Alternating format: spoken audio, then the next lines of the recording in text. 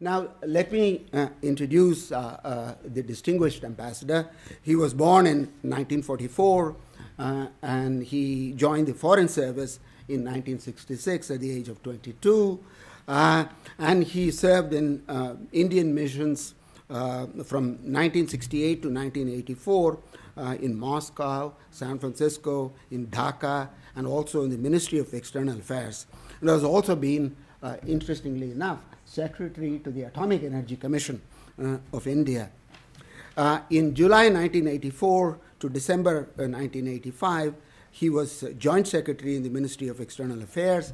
He was also then thereafter joint secretary to the Prime Minister uh, from 1986 to July 1991, responsible for foreign affairs, defense, science, and technology. So he is very uh, appropriate that he gives us the uh, uh, keynote address. Uh, he was ambassador to Mexico, ambassador to Russian Federation, ambassador to Germany, high commissioner to the UK, and so he has a wide uh, range of diplomatic experience. He has also participated in several summit meetings in the United Nations, Commonwealth, uh, non-aligned movement, Six Nation, Five Continent Peace Initiative, you name it, he has been at it all.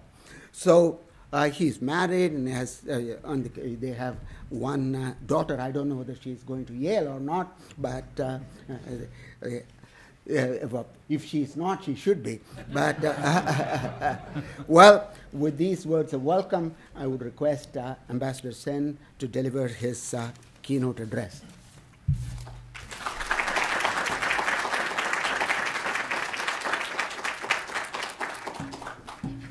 Uh, thank you very much, uh, uh, Professor Srinivasan, for your uh, warm words of introduction and for your insights. It's uh, and I would like to, at the outset, I'd, I would like to congratulate Professor Srinivasan, who has been honored with a very high award from the President of India just recently on the occasion of our our Republic Day.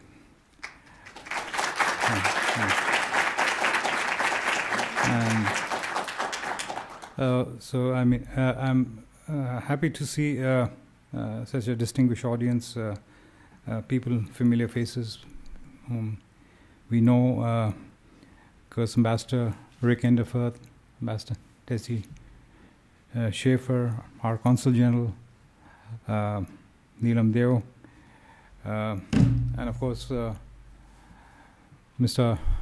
Armeane Choksi up there good to see you, and uh, wish you a very good morning.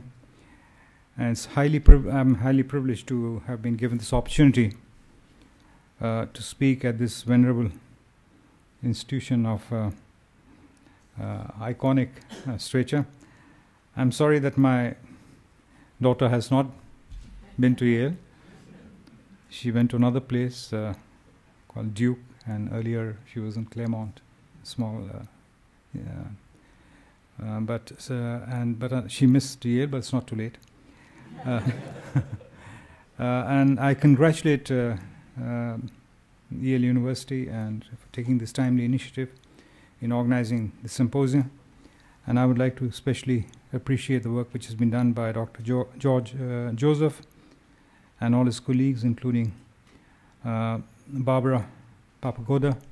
And I thank you for you're arranging this uh, event. Uh, first, uh, very briefly, uh, I'd like to say that uh, you know, according to conventional wisdom, the relationship in, between India and the United States was basically it was bad during the time of the Cold War, and after the Ber- fall of the Berlin Wall and the collapse of the Soviet Union uh, the wisdom, the given wisdom is that things improved and allowed a natural partnership to evolve. It sounds very logical, but uh, and it's widely believed, but I think it's untrue.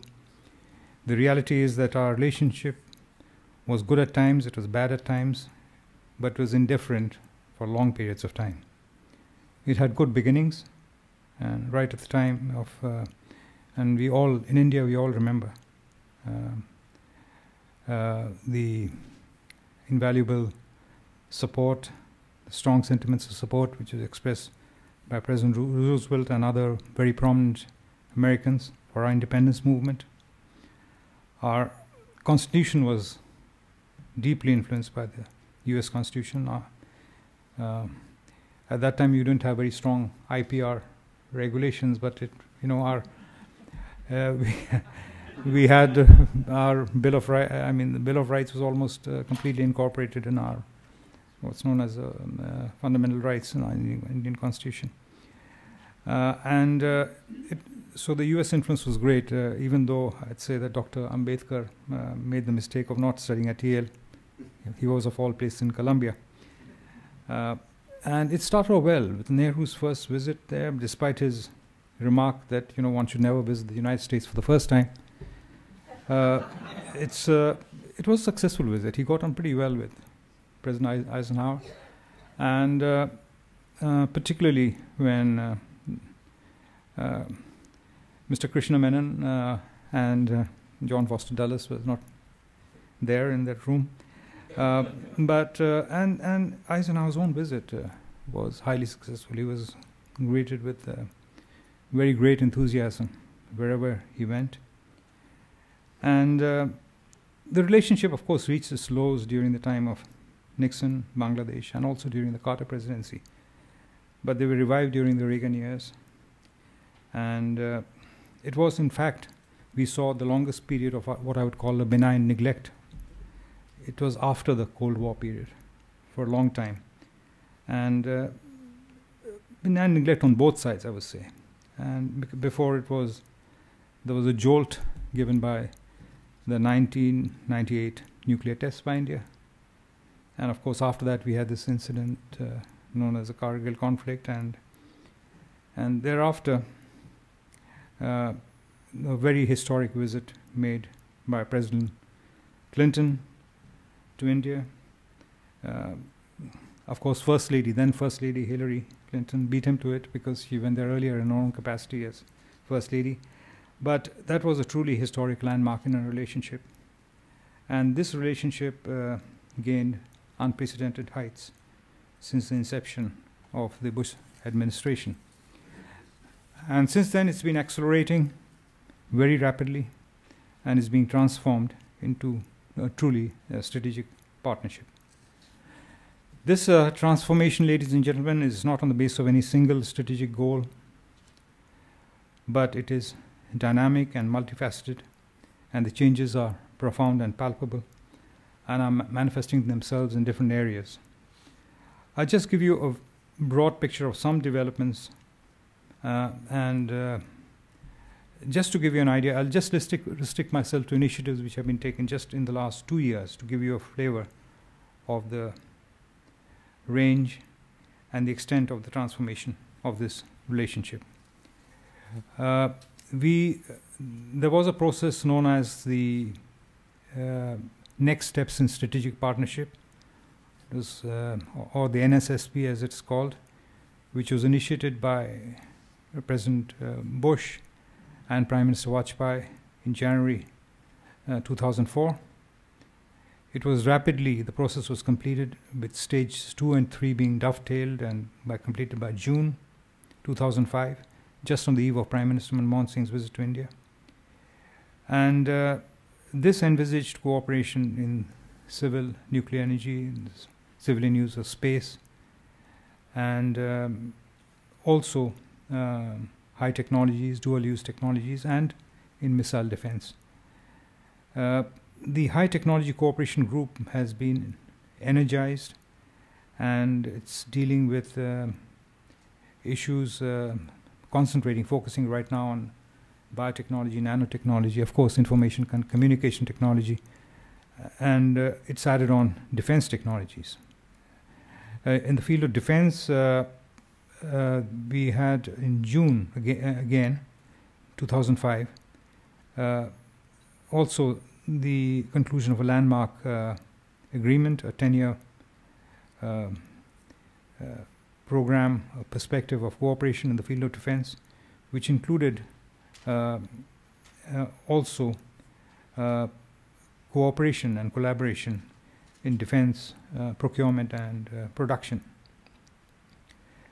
Uh, the uh, and also there's been another feature which is uh, virtually, I mean, hardly a month goes by without some exercise or the other taking place between our navies, armies, air forces, special forces, in various different areas, and that has given a lot of confidence and built up uh, mutual trust and uh, respect for each other's capabilities. Uh, trade is growing in both directions, uh, and uh, and I would like to say that uh, there is an imbalance, in, at least in terms of trade in goods, which needs to be corrected. Th- and so it's been my endeavor to uh, try to promote uh, U.S. exports to India uh, as uh, actively or aggressively as I try to promote Indian exports to the United States. Uh, and uh, and I'm glad that U.S. exports to India are growing faster than Indian exports to the United States. the same is happening in the field of investments.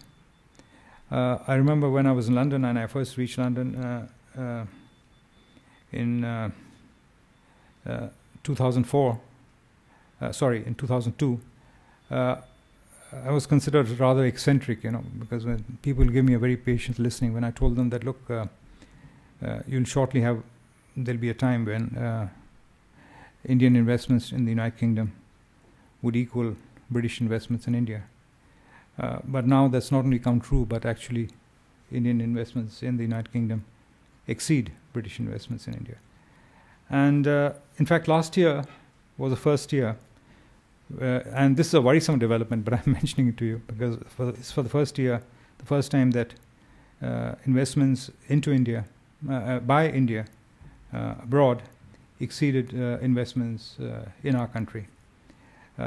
but that is the general direction which we are headed, and that's a, a healthy trend.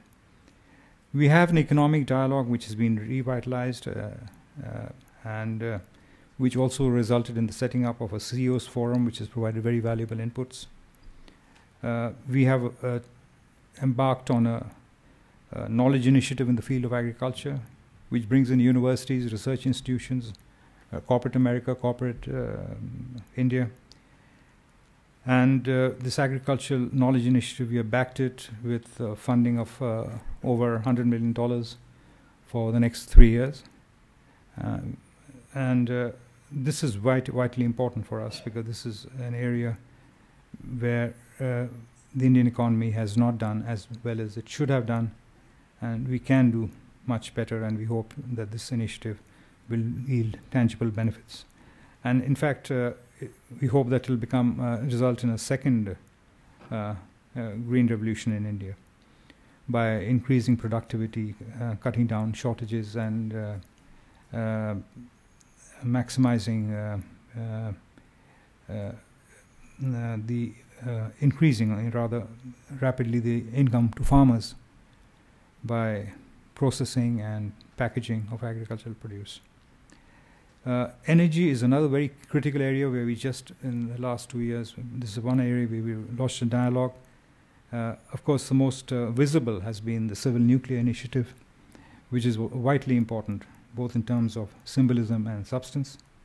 But it's not been restricted to the nuclear uh, cooperation in the sense of uh, it's been broader because it's included uh, collaboration or exchanges in the field of oil and gas, the field of power, field of coal, where we've joined what is known as a FutureGen project for clean coal uh, uh, technologies, and also in uh, energy efficiency and new and renewable forms of energy.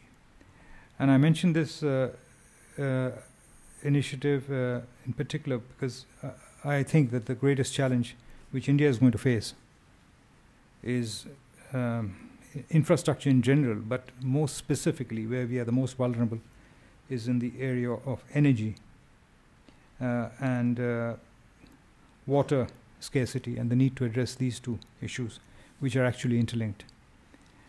Uh, we have taken several other initiatives. Just to give you an ex- another example, an Open Skies mm, agreement uh, was uh, signed, and uh, this didn't rem- remain on paper. And since then, in the last few months, you've seen uh, uh, three American U.S. airlines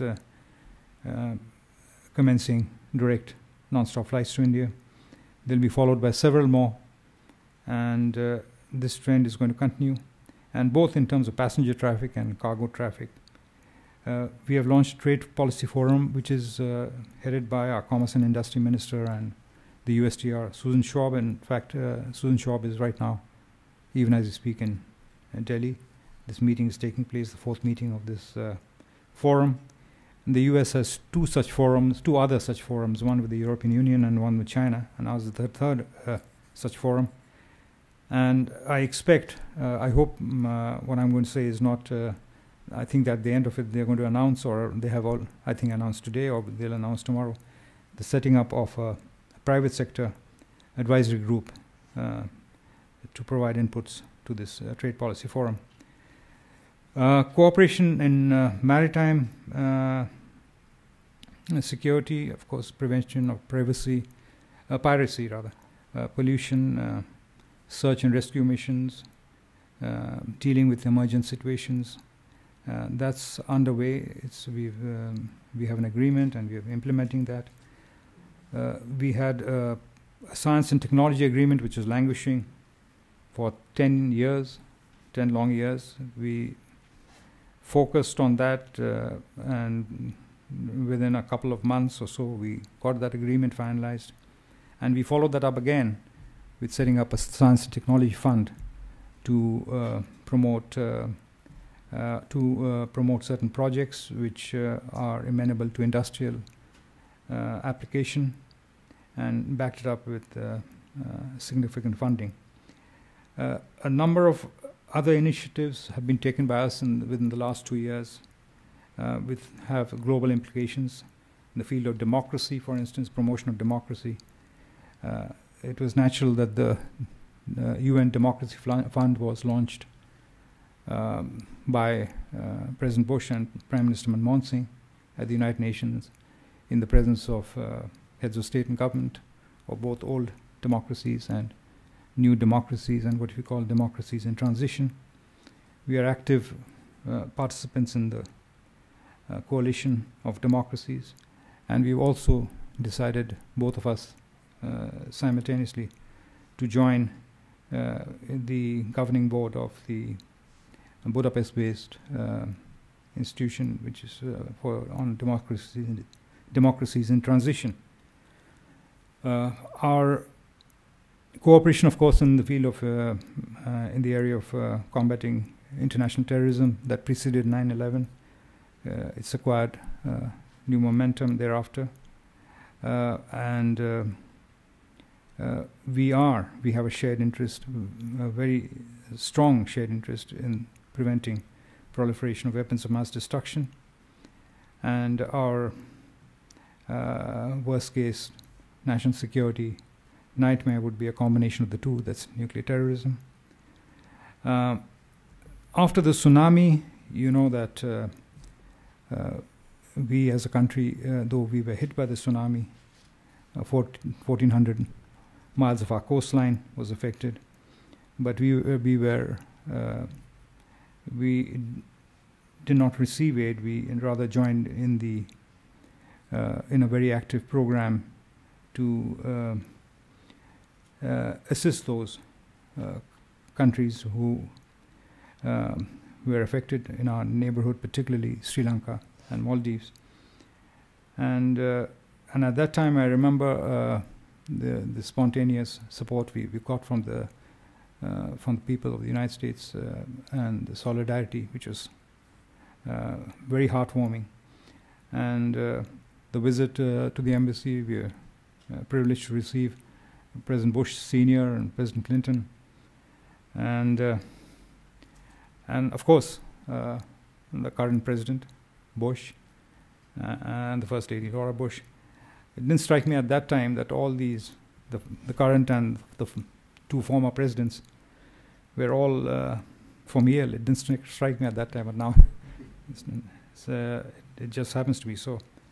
But we we uh, didn't. Uh, we had a cooperation, a core group, uh, which was set up, which is consisting of the United States, uh, India, and we included Japan and the Australia in this in this venture.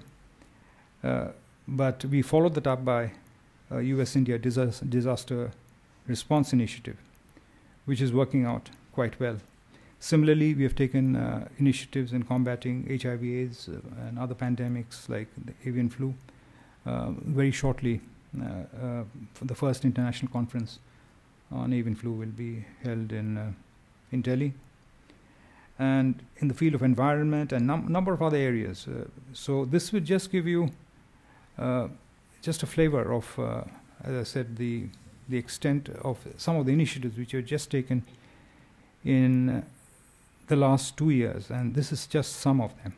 There are others, but uh, while there are several others, I would just like to briefly touch on two other, uh, one other subject. That's uh, cooperation in the field of education. And I attach very high importance uh, to this uh, area of our cooperation.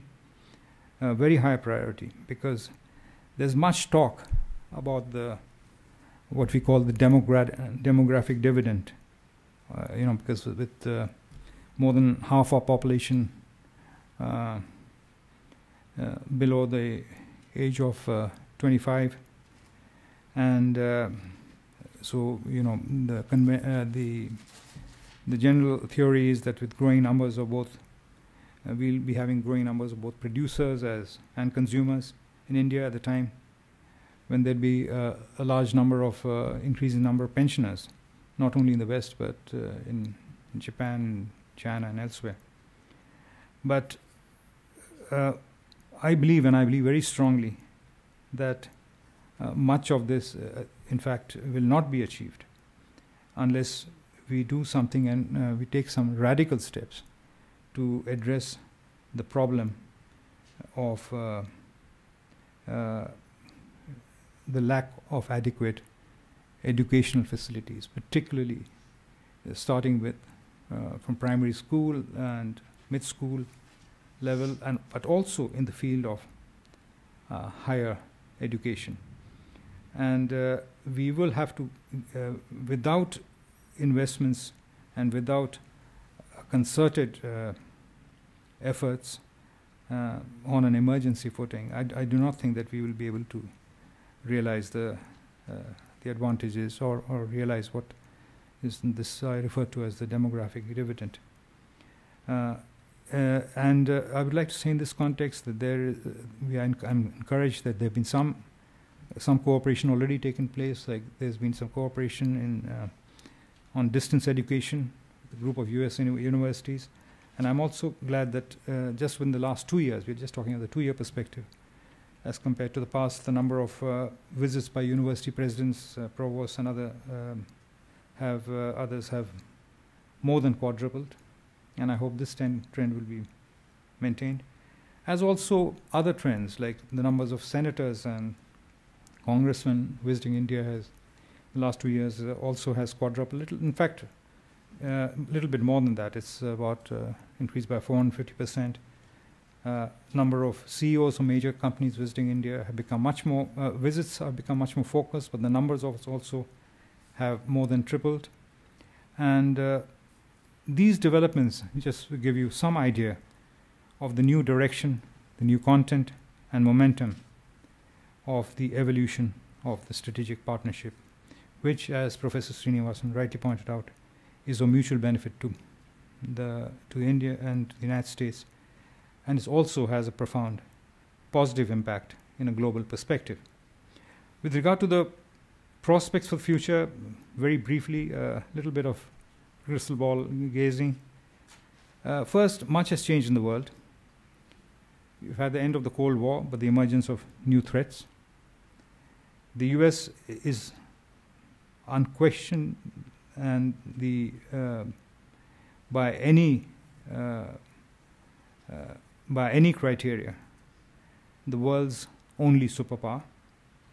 But still, even then, the US cannot, on its own, handle uh, the problems which I refer to, the problems which are new problems which have emerged, uh, the new challenges and threats which have emerged in post Cold War era.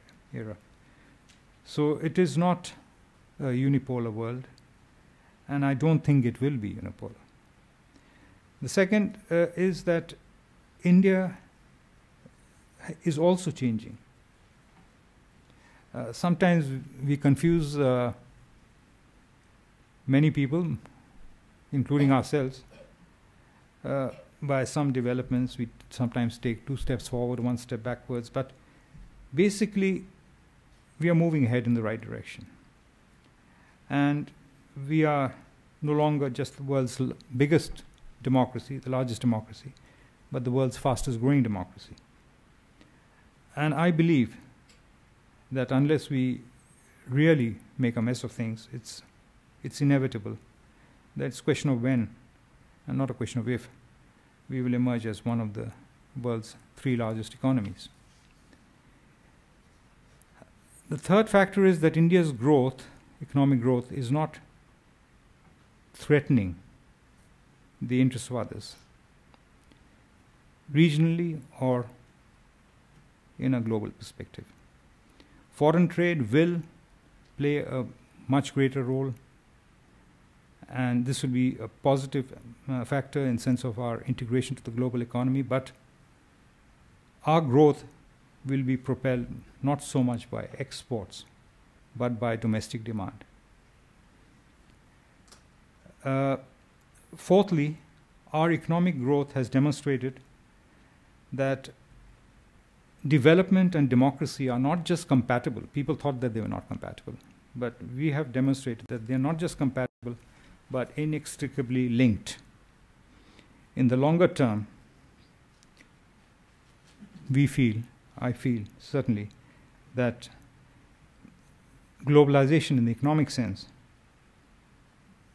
will be stable and sustainable in the longer term only if it is accompanied by greater uh, democratization both within and between countries. Fifthly, apart from shared values and aspirations, we have long term intersecting interests, shared interests with the United States. I referred in this context to terrorism, weapons of mass destruction, preventing the proliferation of weapons of mass destruction, and but there are other aspects also, and this includes the issue of energy security, where if you look at it in any uh, longer term perspective, our interests intersect. Because we have, for instance, a shared interest in reducing our dependence on f- fossil fuels. Uh, we have a shared interest in oil prices being stabilized at lower levels and greater predictability uh, in pricing. Uh, and across the board, I would say that I do not see any area.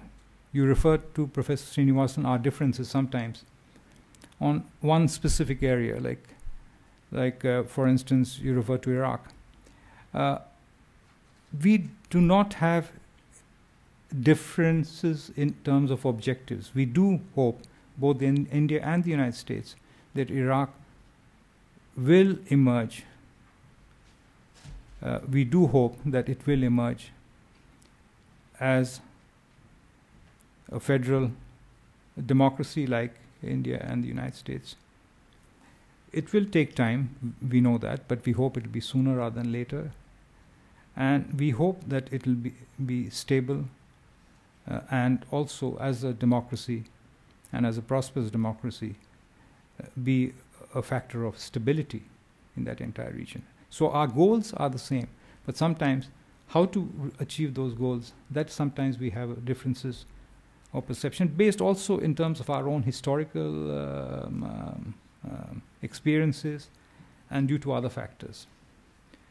Uh, but another overriding uh, uh, uh, another overriding aspect I mean, I mean, uh, uh, aspect of overriding importance is that our relationship is called. It's a relationship between democracies and people-to-people ties have always played an important role, uh, and this has been even before we became free.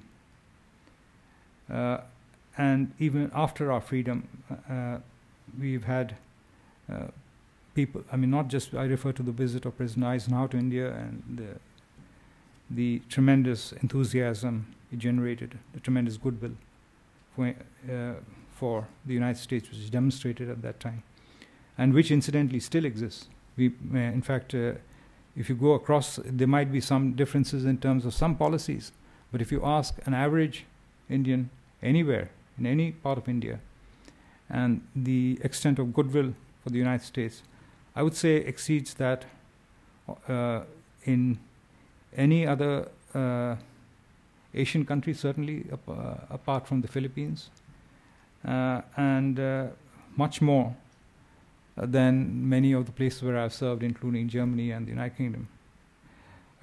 And this is, you know, and this has been manifested in these people-to-people contacts between, let's say, I remember the visit of Dr. Uh, Martin Luther King Jr. to India when he visited India and I was um, among one of those impromptu audi- audiences. You know, which there was no. I mean, he didn't come as a. He was not a head of government, uh, but the crowds were enthusiastic. He had come. Both of them had come as pri- guests, personal guests of Prime Minister Nehru, but it was. Uh, a tr- a- there was tremendous enthusiasm in those uh, in, in um, the crowds which greeted him wherever he went, and I remember what he had said in response to a question somebody asked him how his visit was going, and he said um, he told that person who happened to be a, a college student uh, like myself at that time, and he said, "Young man, I've not come here on a visit. I've come here on a pilgrimage to the land of Gandhi."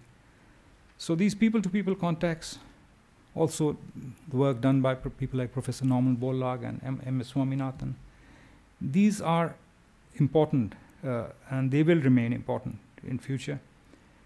And uh, in this context, I would like to say that I would like to pay a tribute to the role of the Indian American community uh, as a major uh, force for both promoting this relationship and act- acting as a stabilizing factor in this relationship.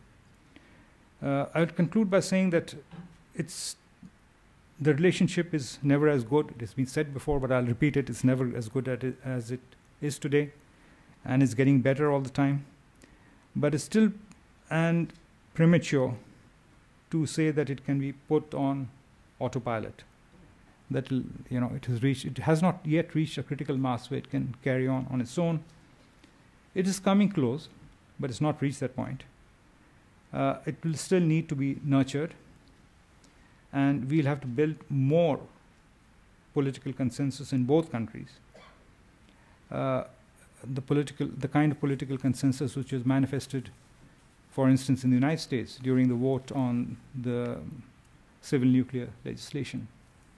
But overall uh, due to the factors which I mentioned and more I am confident that this relationship is set to firmly set on an upward uh, uh, trajectory uh, thank you very much for giving me such a patient listening. I've talked much longer than I should have, but as Professor Srinivasan said, that I would really welcome questions. I would also welcome actually some comments uh, and uh, uh, criticism or advice, whatever you might, whatever way you might put it. I'd benefit from that. Thank you.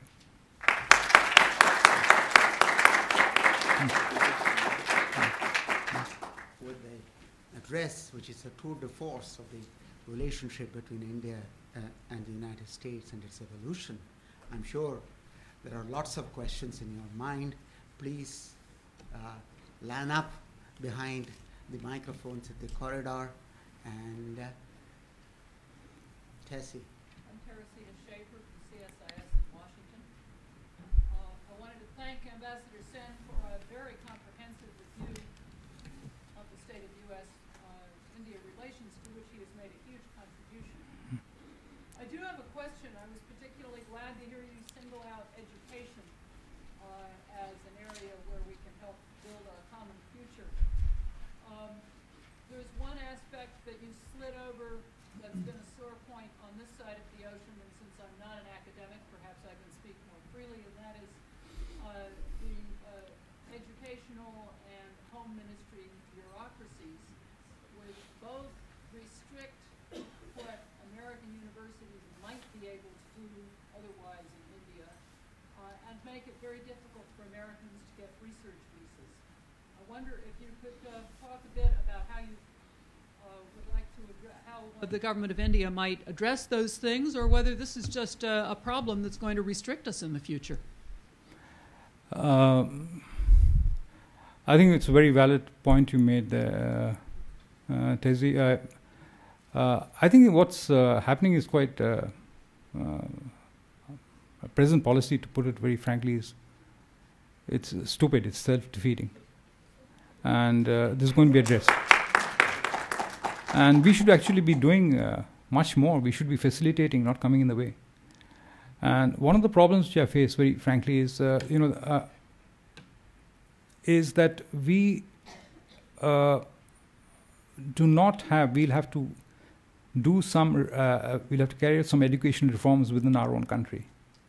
Uh, because there's a, a lot of goodwill, there's a willingness uh, I find from uh, from a number of uni- people in a number of universities which I have visited have specific proposals, but a big part of the problem is the way it is constituted right now in India. It's, it's complex. I know it's complex because education, as you know, is a state subject. But there are some central, uh, some areas where the central government also is involved, but largely a state subject. But in between, you know, it's constantly uh, falling in between two stools, and uh, it's a bit of a mess. I think we can we can do a lot in clearing that up. And the least we can do, and I hope this problem, uh, particularly uh, relating to Fulbright scholarships and num- number of those problems, uh, I hope that in the coming couple of months they'll be resol- resolved. Thank you for bringing it to my attention.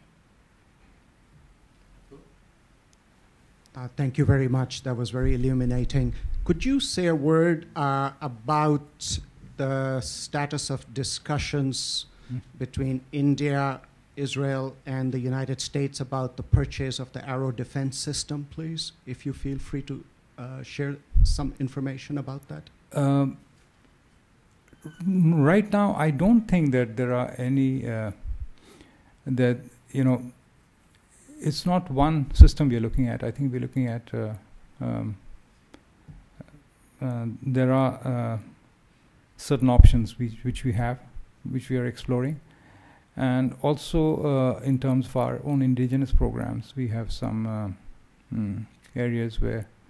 Um, uh, which uh, I know that we were uh, pursuing some collaborations also um, to uh, provide some inputs. So it's not just procurement of a system, but it's uh, also involving some collaboration because we have certain strengths which we have developed on our own. Uh, but uh, I would like to say that uh, you referred to Israel. We relations between India and Israel have developed very, very rapidly, and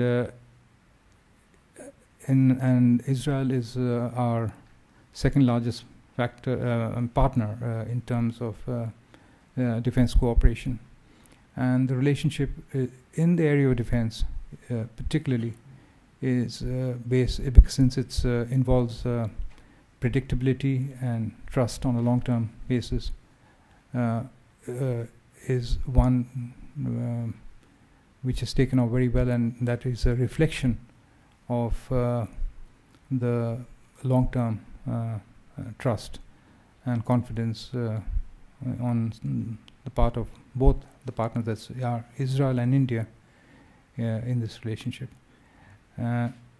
We have not reached that stage yet with the United States, but our intention is to get there and to get there as soon as possible. Uh, we uh, will have to overcome some problems because uh, in this area and in certain other areas, uh, so far the United States has been used to dealing with uh, allies, uh, treaty allies, and or with adversaries. I don't think you have many major adversaries at the moment, but it's not so we'll have to it'll have to be a very specific type of relationship which you build up with India, which which is not going to be an ally in a traditional sense because we uh, uh, it's it's too vibrant a democracy and it's too large a democracy and too diverse a democracy to be a follower of any country uh, and will not be. So it will uh, uh, we'll have to work out some mechanisms which are, are which are not yet in place uh, to enable cooperation in the field of defense to develop as both uh, our countries uh, uh, desire. So um, we are in the process of getting there. In fact, next month I'll be commissioning the first U.S. origin naval vessel into the Indian Navy at Norfolk in Virginia. Thank you. My name is Subrata Chakravarti. I'm a journalist. Mm. Um, with regard to the uh, U.S. Indian uh, nuclear agreement, mm. uh, the Communist Party, which is a key ally of the Congress in the Lok Sabha, uh, has uh, condemned this agreement as a betrayal of principle and a strategic threat to, to India. Uh, and they have even discussed voting against the government in a motion of confidence in the parliament, which the government would then surely lose. In, if that disagreement now dies, what does that do to the future of the U.S. India relationship? Uh, it's uh, it's not just, uh, I won't say it's the Communist Party of India or uh, the Communist Party of India Marxist or the Communist Party of India or some of uh, the uh, leftist uh, supporters of the governing coalition. Uh, but there are others also who have opposed the civil nuclear agreement, who expressed reservations and uh, in any democracy, uh, dissent is an essential element, and uh, and, and dissent is a part of any debate and discourse that we have in our country. Uh, there have been some changes also. In, in, there's been some evolution in the thinking of some of these parties, some of the same parties which had, uh, for instance, uh, mm, strongly opposed the nuclear tests of 1998.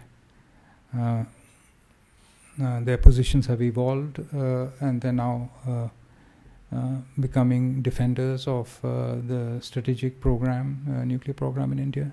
So, similarly, I hope that when um, perception and reality come closer to each other and it takes some time, you know, on any issue because, as I said, the development of our relationship has been very rapid, and some people have been taken off balance. It takes some time for perception and reality to intersect. Uh, but uh, I do hope that that process uh, will take place and people will realize. Uh, and there's, there's a lot of uh, uh, people over here, a lot of people over here in the United States also who have doubts about this agreement, and same as we have in India.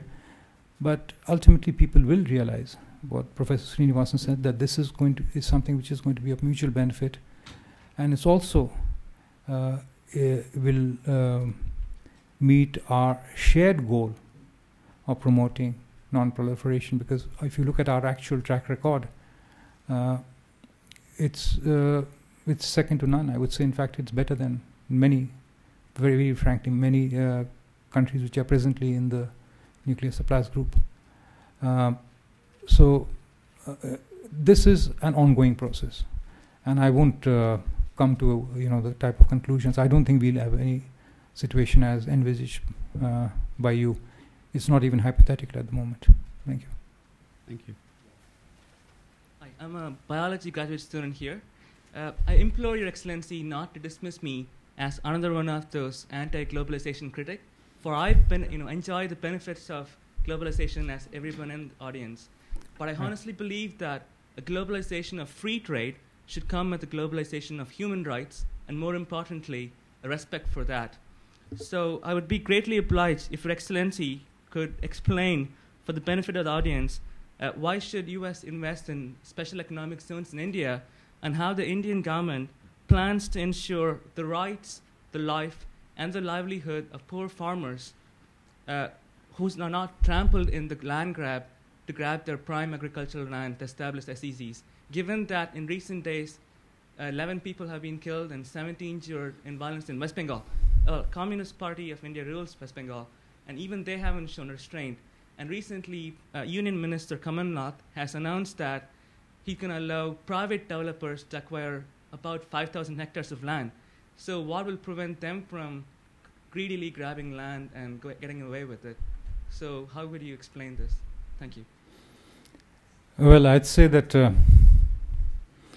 um, this issue, uh, the spec- uh, specific issue on special economic zones, is uh, is being debated in India uh, within our country, as you very well know. Uh, there's been a lot of public discourse on the subject, a lot of disagreements, and but across the board there has been. Um, uh, mm, it is a very sad uh, event what took place in Nandigram. The police firings, which in which some innocent people lost their lives because uh, they were protesting, and uh, and everyone has a right to protest. Uh, and uh, but I can assure you that uh, uh, a decision, whatever decision will be taken, uh, will be uh, a balanced one. Uh, we will have to uh, inevitably move to uh, as we industrialize um, we will require uh, more land to build uh, um, uh, manufacturing plants or or laboratories or uh, land uh, to build more institutions of higher learning universities uh, and so on and so forth. I mean that's inevitable. That's going to happen. So it's not necessarily going to be um, and and at the same time to make uh, agricultural land uh, usage um, uh, with better uh, irrigation, better inputs, uh, higher technology inputs uh, to make them more productive, to reduce losses, uh, and that's a better way of um, uh, handling this issue. So we have to get the balance right, and in India we cannot. Uh, uh, decide these issues and uh, by, and, uh, by decree or central or state government fiat. But at the moment, the group of ministers is looking into this issue, and a, a decision which will be taken, I'm sure, uh, which will take into account the legitimate interests of farmers, who constitute uh, 60% plus of uh, uh, our uh, population. 65% are depend of our population dependent on agriculture, and we cannot no politician or any any anyone, nobody in any uh, uh, public position can ignore this fact. And uh, though the proportion of agriculture in terms of our GDP is being declining, even in as uh, early as the 80s, it was something like about. Uh, 40% and now it's about 18% of our GDP. It's going to decline, uh, even though I hope agriculture will pick up much faster, but it will decline as a proportion of our GDP. But these interests will be taken into account. Thank you. Mr. Ambassador, I'd like to come back to the topic of the U.S. India Civil Nuclear Agreement. Yes. Uh, can you bring us up to date on the state of play of the 123 agreement? And as you know, the first phase was a pretty hard slog getting it through the House and the Senate in this country. We are picking up sounds that this 123 agreement is going to be even tougher, particularly with the elections coming up. Can you tell us how you see this playing out over here? Uh, I yes, I have heard uh, a lot of uh, uh, speculation. There has been some uh, sense of frustration which has been uh, um, uh, conveyed. I think, including in briefing people in the media and congressional staffers and congressmen. Um, all that I can say is uh, that mm, it is not necessarily uh, true. Uh, but it is not our policy uh, to comment on negotiations in progress because uh, we would not like to carry out these discussions in public. So uh, it is very tempting for me to uh, do so because I can refute many of the things which are being put out, but it's it's I don't think it'll serve any purpose because I'm not here uh, and it's not my intention to score any debating points because we take this seriously and we hope it is certainly difficult. And what I said earlier, that is, uh, you know, there's strong feelings in India, uh, strong views in India, a number of them uh, who are against uh, this agreement. There are strong views which are held here. Uh, but I do believe that this agreement, when uh, the last lap is always the most difficult, and we have just uh, um, uh, uh, completed two stages and uh, have to complete mm, three more stages before we finalize this agreement. And Uh, I'm not uh, pessimistic, but the sta- at, at this current stage of negotiations, I would uh, not like to comment on any detail. Forgive me. Thank you. May I ask the last question since there is nobody? You did mention the many points you made that uh, India's sorry, Indian investment abroad now exceed foreign investment coming into India. Now, on the one hand, the Indian investment increase is due to the fact our private corporate sector is now very dynamic and they are acquiring companies abroad, the Corus Steel example, the aluminium uh, example, and so on. Uh, on the other side, it seems to me our domestic investment climate uh, is abysmal. Uh, in the World Bank's ranking of countries of uh, the on doing business, India ranks 135 uh, among 170 or so, 150 or so countries and with respect to many things, how, many, how long it takes to start a business, how long it takes to close down a business if it doesn't function, and the whole host of clearances and so on and so forth. And that is what is keeping foreign investment coming to, uh, coming to India and also domestic investment uh, increasing much further than uh, it has. Now, what is your assessment of where we are going with respect to creating a much more welcoming uh, investment climate along the line from infrastructure to bureaucracy to what have you. Um, uh, Professor, I think that uh, first I would like to say about uh, the investment uh, climate, you know, in in in India, and uh, as you rightly put, put it, it's we can and we should be doing much more. Uh, when I was in Germany, I used to hear these uh, questions all the time. Uh, and so I, but it didn't quite correspond to what I, when I talked to CEOs of a number of companies, large companies, the small companies, the Mittelstand, as they're known in Germany, or even the smaller companies. So I had requested uh, the uh, the Federation of German Chambers of Commerce and Industry just to do a study, not an analysis, in a 15-year perspective of profitability, for instance. What is the net profitability of companies? Large, medium, small companies, German companies, because this is a matter of record, no analysis. Net profitability over a 15 year period. And they took uh, two other countries, uh, China and Indonesia. Mm, Indonesia at that time was much, uh, I mean, let's, let's put it, it was more uh, stable and predictable. Uh, and one was that fact, uh, that's net profitability. Second was how much in terms of uh, how much of volatile uh, was it volatile? Did it go up or down, or was it more or less stable in terms of profitability?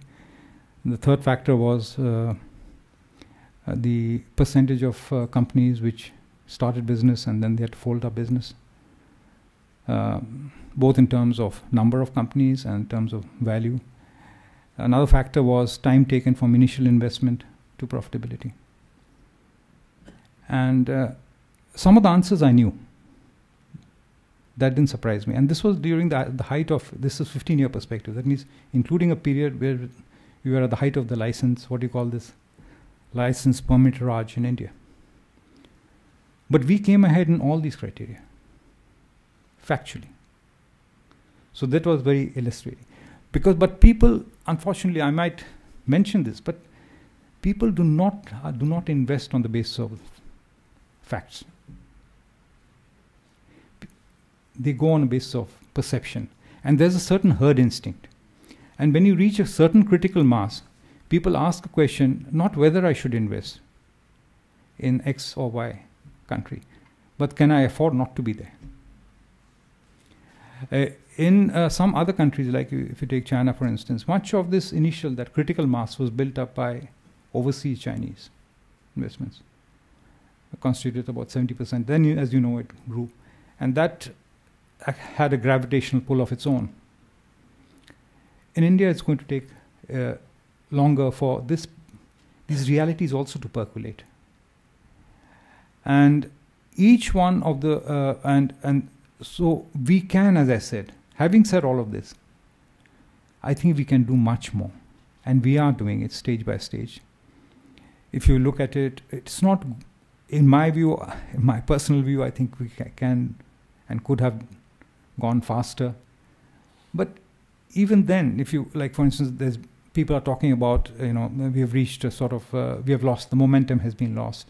Nothing's happening. There's great disappointment. But the fact is that even if you take just the last, you know, two or three years, let's say three years or so, uh, if you look at import duties, we had it, as you know, Professor, it was about 29, 29%. Now it's 10%. I mean, in non uh, agricultural areas, the peak tariff rate. The applied rate has been actually about something like about 6, 6.5% across the board. Now, so we, without uh, doing anything dramatic, the fact is that we have been able to bring down, this was one of the problem areas. You spoke about infrastructure. It's, a lot of people didn't realize, you know, that in India, actually, even at the height of uh, uh, the Nehru's, uh, you know, the, the position on the commanding heights of the public sector, actually, the as you know, Professor, the private sector played a much bigger role in a con- country like India as compared to countries like Germany or France, even. When talking of privatization, you refer to telephones. Telephone privatization began in the same year in India and Germany. The Telecom Regulatory Authority was. But we have completed the process. Germany is still in the stage of doing so. It's Deutsche Telekom has not been fully privatized. And what was considered, you refer to infrastructure. It's I honestly believe that you know today's problem can be tomorrow's opportunity. there again I take telecom. It was a huge constraint. People were complaining all the time. But how can you do business? You talk of information technology. How do you conduct business without work, a telephone working? Today, it is seen as a fastest growing telecom market with a huge opportunity. We can convert every such challenge into an opportunity. But the biggest challenge where we will face a problem because of our geographical location, because of uh, the certain, um, should I say, some um, uh, some degrees of uh, uh, uncertainty in our immediate neighborhood. Uh, one problem which we will not be able to resolve just by issues on issues of policy, then that is going to be energy, because we are cut off from energy sources because of where we are located geographically, and uh, uh, we will have to diversify these sources, and uh, we'll have to do much more. But we, I agree with you. We have to do much more. Like for instance, without uh, going into much greater detail, I mean, we will not be able to. We will have to generate more in terms of investments. We have uh, done. We have not done that badly. There are great inefficiencies. I think we can ma- make reduce transaction costs in India. But if you really look at it, for instance, with uh, you know about our savings rate is quite high. It's uh, around 30%, a little bit over 30%. But it's not just in China, which is about 40%. Uh, we our investments into India is one tenth of China. So savings rate is much lower, investment rate is much lower. Our exports are a fraction of China. But nonetheless, the difference in terms of uh, GDP growth is about two or three percent. So something we must be doing right in our own confused manner. No, but we could do better. Thank you. Thank you very much.